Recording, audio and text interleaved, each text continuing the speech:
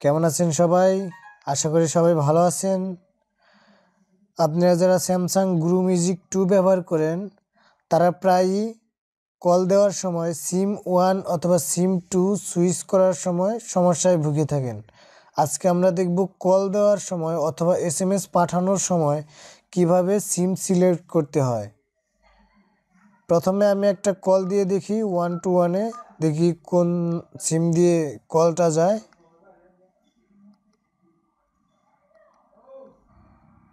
Call লগে গেলাম।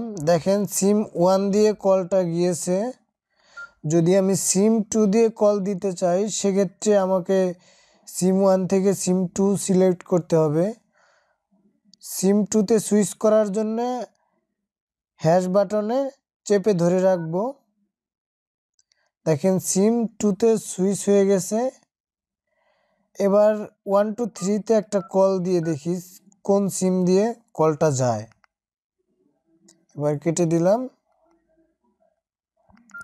দেখেন ওয়ান টু থ্রিতে কিন্তু সিম টু দিয়ে কল গিয়েছে। এভাবে আপনারা সিম ওয়ান এবং টুতে সুইচ করে নিতে পারেন। আবার যদি সিম ওয়ান সিলেক্ট করতে হয়, তাহলে আবার হ্যাশ দিয়ে ধরে রাখবেন। দেখেন আবার সিম ওয়ান সিলেক্ট হয়ে গেছে। এবার দেখব এস এম এস করার সময় আমরা কীভাবে সিম সিলেক্ট করতে পারি। মেনুতে যাই।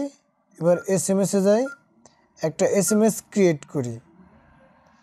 ধরে নেই, আমি একটা নাম্বারে এস এম এস পাঠাবো। প্রথমে নাম্বারটা টাইপ করলাম, এবার যে কোনো একটা এস এম এস লিখি। ওকে লিখলাম।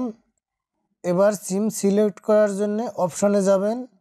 এখানে দেখেন লেখা রয়েছে সিলেক্ট সিম এবার এই পাশটা এখানে ক্লিক করবেন। দেখেন সিম ওয়ান সিলেক্ট করা আছে।